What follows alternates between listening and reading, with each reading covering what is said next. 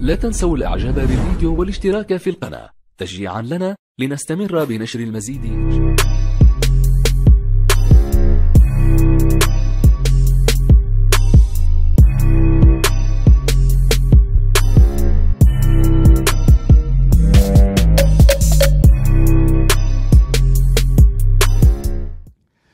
الأمر الآخر أن اليوم وصلتني معلومات. وهذه المعلومات خطيرة للغاية. وتكشف عمق ما حدث للسيد الرئيس عبد المجيد تبون. بلا أدنى شك أن الرئيس نقل له الفيروس من جهة ثانية. الأمر الثاني أنه الرئاسة اتخذت احتياطات صحية لا يوجد من يستطيع المرور إلى مكتب الرئيس أو الجناح اللي موجود فيه مكتب الرئيس إلا بإجراء كشف استعمال الجهاز ليكشف درجة الحرارة. اتخذوا الكثير من الاحتياطات لمنع وصول الفيروس إلى رئيس الجمهورية. وهذه لم يأخذوها منذ البداية ولكن أخذوها في الفترة تقريبا حوالي شهر هكذا حسب ما تحكي المعلومات.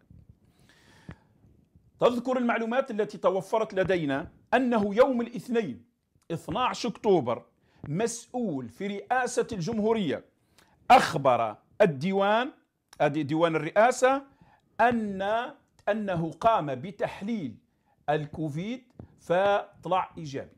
معناه عنده كوفيد عنده فيروس كورونا. فالثلاثاء لم يخبروا الرئيس بالأمر. فالمسؤول اللي أخبر مدير الديوان أو شيء من هذا القبيل المهم أخبر ديوان الرئاسة فأخبره قال له خذ اليوم إجازة لا تأتي وساله هل ظهرت عليك أعراض أو شيء قال له لا. ولكن أحس بنوع من تعب هكذا والإرهاق فقال له لا تأتي اليوم للرئاسة. الثلاثاء 13 أكتوبر أعلمهم اتصل بهم مرة ثانية وأعلمهم أنه بدأت تظهر عليه أعراض الكوفيد تتمثل في بعض الحمى والغثيان وهذه الأشياء وبعض بعض أعراض الزكام العادية يعني. في 14 أكتوبر استدعي هذا المسؤول الذي نتحفظ عن ذكر اسمه حاليا من طرف ديوان الرئاسة فحاول أن يتعلل بوضعه الصحي إلا أنهم ألحوا عليه بضرورة الحضور لأن الرئيس يحتاجه وطلبه شخصيا. ولكن آه، طلبوا منه الا يخبر الرئيس بما بوضعه الصحي يجي راه يحتاج في أمر خفيف ويغادر. معلومات كما ذكرنا في البداية أنه هناك إجراءات تكشف درجة الحرارة.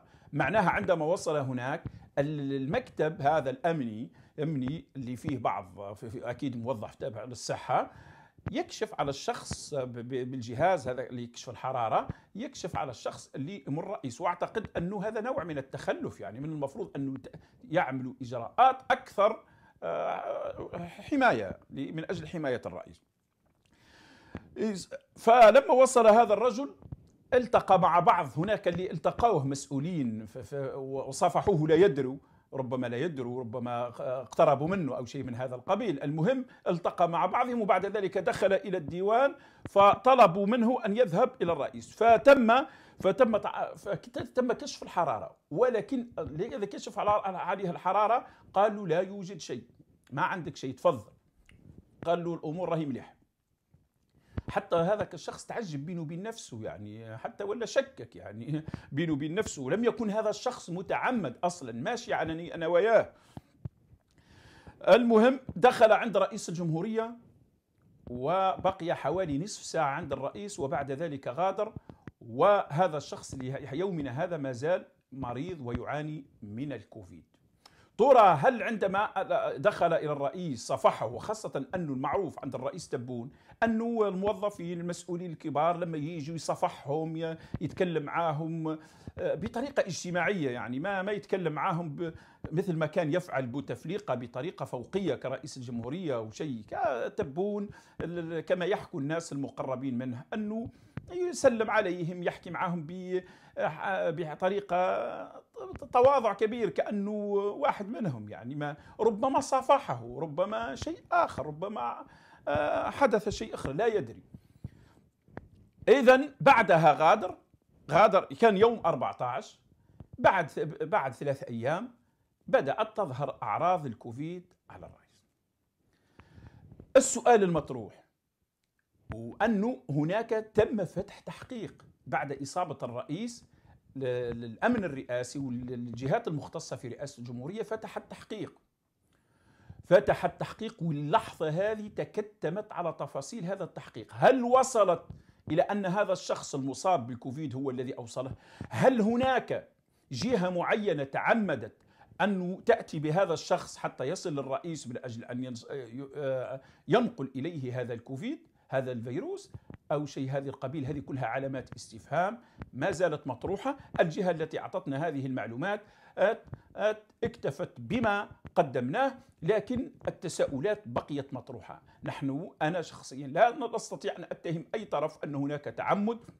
أو أن هناك كجهة معينة أرادت إيصال هذا الفيروس للرئيس ربما كانت تستطيع بوسائل أخرى أيضا أيضا ولكن آه، في رأيي أن هذه النقطة لهذه اللحظة أولا أن التحقيقات التي فتحت لم تكشف عن المعلومات ولا الرئيس يدري آه، لآخر لحظة من أين جاءه الكوفيد ولا أخبروا الرئيس بأن الشخص الذي المسؤول الذي دخل إليه على الأقل ما بعد ما بعدها قالوا له آه، أخذ احتياطاته لم يخبروه بشيء.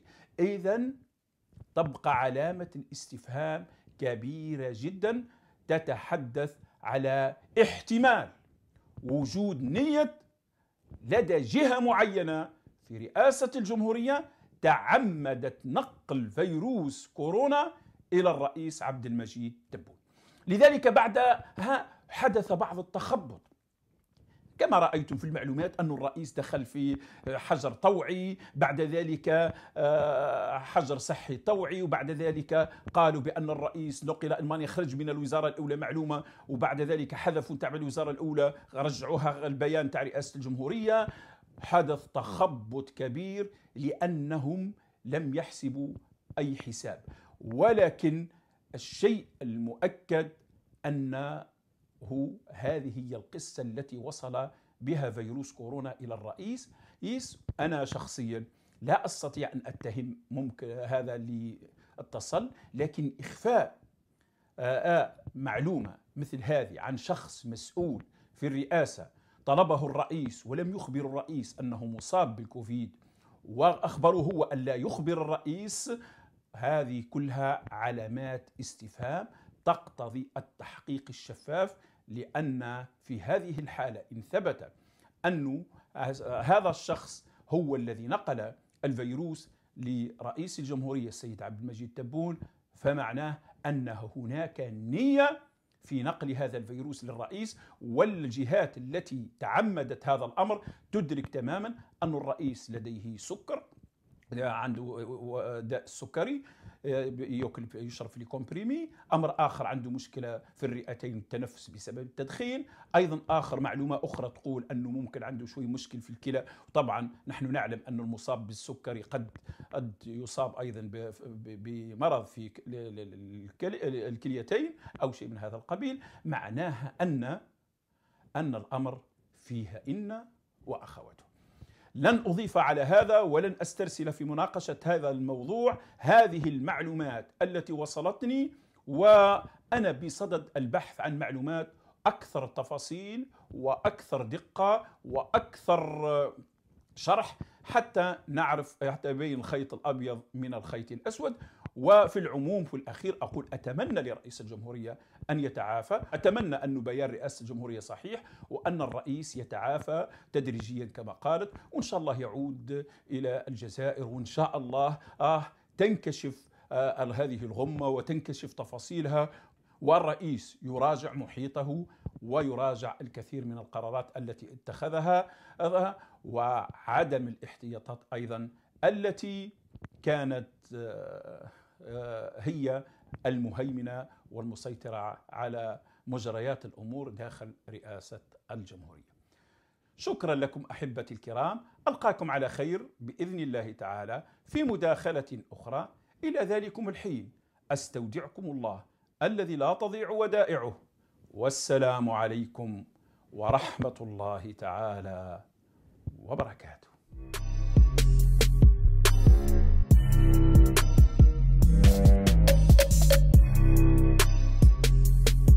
لا تنسوا الإعجاب بالفيديو والاشتراك في القناة. تشجيعا لنا لنستمر بنشر المزيد إن شاء الله.